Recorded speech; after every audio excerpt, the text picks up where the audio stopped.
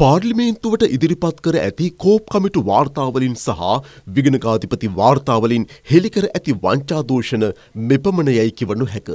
කිරිවලින් රට ස්වයම්පෝෂිත කර ඇති රජයේ මිල්කෝ සමාගමද වංචා දූෂණවල තෝතැන්නක් බව හෙළිව තිබෙනවා.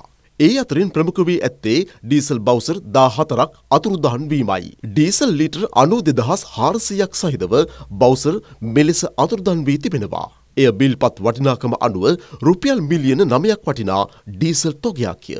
මෙහි ඇත්තේ රුපියල් මිලියන 9ක වටිනාකමටත් වඩා ගැඹුරු දෙයකි.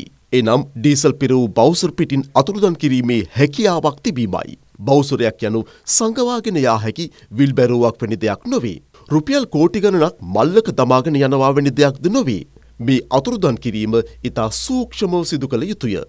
විගණකාධිපති වාර්තාවෙන් හෙළිකර ඇත්තේ මෙම බෞසර 14 අතුරුදන් කර තිබෙන්නේ 2017 වසරේ සිට 2022 අගෝස්තු 31 වනදා කාලය තුල බවයි.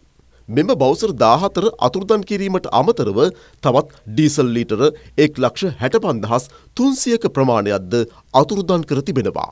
එහි වටනාකම රුපියල් මිලියන 17ක්. එක් අන්තයකින් බෞසර් 14ක තෙල් ලීටර 92400ක් අතුරුදන් වී තිබෙනවා. අනික් පැත්තෙන් තෙල් ලීටර එක් ලක්ෂ හැට පන්දහස් තුන්සීයක් අතුරුදන් වී තිබෙනවා. රටේ ජනතාවට නම් මේවා සිතාගැනීමටත් නොහැකිය. එහෙත් ඒවා දේශපාලන අනුහසින් සිදුකර තිබෙනවා.